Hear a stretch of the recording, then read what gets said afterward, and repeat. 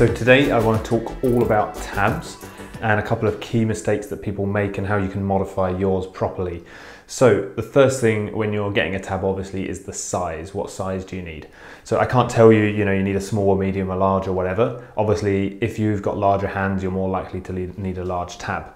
The key thing is when you're looking at the leather, and this is why I'd encourage you to maybe try like a friend's tab or something before you buy one because they're kind of expensive. But when you're looking at the leather, ideally on the bottom part here, if you look at the leather on this tab, where the bottom part of the leather is here, it's not extending too far past my ring finger here. So you can see that the leather is around about the same level and also the metal of the tab here is around about the same level as my ring finger. So that's, you know, it's not extending too far past my finger there. Also on the top index finger, you can see the tab here. It's not too much past the top here. So, you know, there's not too much of the metal and the leather here. Also, for me, the tab is not extending too far back into my hand. So for me, this small size tab, this Win and Win, the Wiawis EZ and the EZR tabs, they run a little bit on the large size. So normally for other tabs, before I got this one, I need a medium, but for this one I needed a small. So I definitely encourage you to try the tabs first um, but really you're looking for something that feels fairly minimal in the hand and it feels like you're not being obstructed in any way. That's the key thing here. You don't want, if the metal of the tab is starting to extend too far past the finger here, then that's a no-no because basically the tab will hit your jawbone and there'll be a gap between your index finger and the tab. So those are some kind of considerations to think about when it comes to the sizing, but you do definitely need to try the tab yourself and maybe try friend's before you buy one. So now the second part is obviously trimming the leather of your tab to the right size because depending on your finger length, that kind of thing, you'll need it a different size.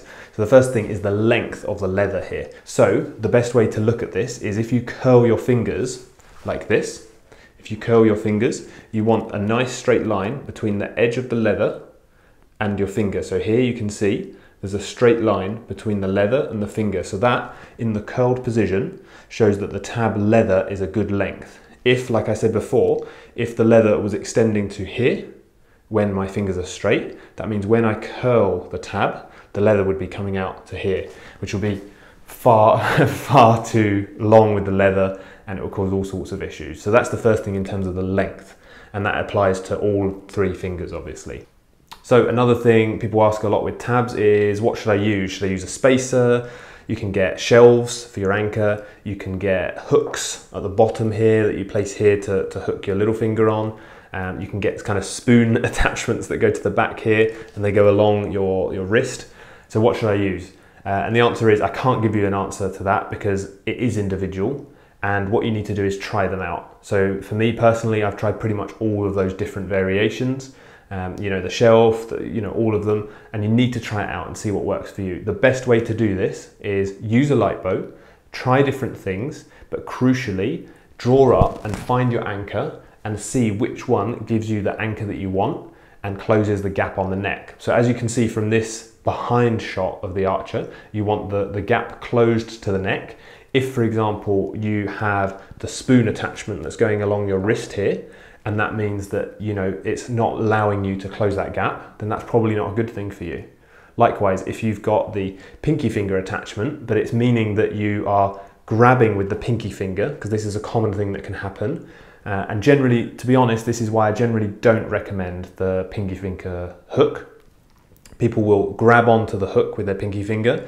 That also then causes this ring finger to be tense, and then it causes this to happen. So that's why generally I don't recommend that one. The other ones are a little bit more optional or personal preference. Um, but yeah, it's definitely something to play around with and experiment with. And this is why it's super important to modify your tab and do all that kind of stuff as well. Now, before we move on to the next part, I just want to show you these three pictures here of the three options for the thumb and the pinky position. These are from my website.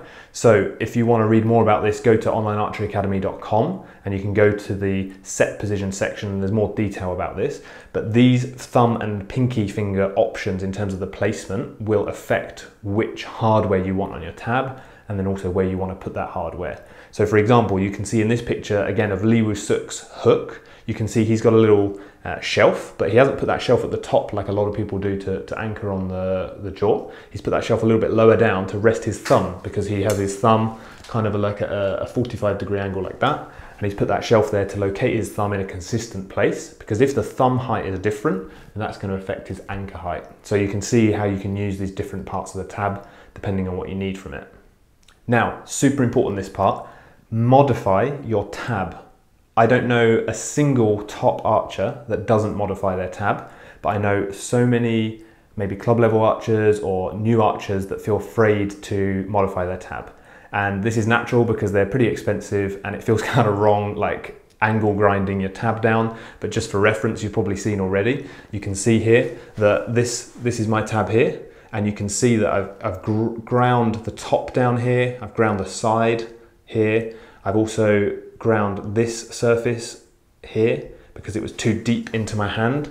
So don't be afraid to really modify your tab, not just the leather, but also the, the metal as well. So grind it down, feel what it's like. And here again, this is a different picture. This is Kim Woo Jin's tab. And you can see here, he has also ground down the tab quite a lot. He's ground down the shelf, he's ground down the, uh, the top of the tab. He's also mix and matched the tab. So this is a, an AAE Cavalier tab but he's got a finger spacer from Fivics. So there's no need to just, you know, have the exact tab that came from the box. You must modify it. Um, and again, if we go back to Woo Suk's tab picture, you can see on the top face of his tab that the, the metal has been ground down there. So he's also modified that. So I deeply encourage you to do that. I know it feels wrong, uh, especially because they're kind of expensive, but it's really, really important. It's kind of ludicrous to think that a random uh, generic tab is going to fit your specific hand and it's the same as with your bow grip. So those two parts, the tab and the bow grip, are really important to modify and I'd encourage you to, to get the angle grinder out and then start playing with it. Now, before we get on to the next point, I just want to take a moment to mention my online archery video courses. I've made two courses, one for beginners, one for advanced archers, and they cover everything you need to know to take you from a new club level archer all the way up to having elite world-class technique. So check those courses out. There's a link down below uh, and the website is courses.onlinearcheryacademy.com and there's also a 10% discount in the comments section below. Now back to the video. Now let's talk briefly about the angle of the spacer in terms of if it's pointing up or down. If you are struggling and you're touching the nock with your middle finger, then obviously if you angle the spacer upwards like that, that's going to make the middle finger go like that and possibly contact more. So if you're struggling with middle finger contact, possibly angling the spacer slightly down, obviously not this much, I'm just doing it to demo, angling the spacer slightly down might help with that. But if you angle the spacer down, it's more likely you'll start maybe contacting with the index finger. So you can use this angle of the spacer to help you if you've got any finger clearance issues. But it's important to remember what I said before about the leather. Make sure your leather trimming is correct, otherwise it will be kind of uh, trying to fix the issue rather than the real cause of the problem. So I definitely encourage you to look at that first. So thank you for watching. If you haven't already, make sure to tap the like button and subscribe to the channel. I'll be back next week with another tab video to give some more info on, on some extra bits there. And thank you for watching and I'll see you next time. Thank you.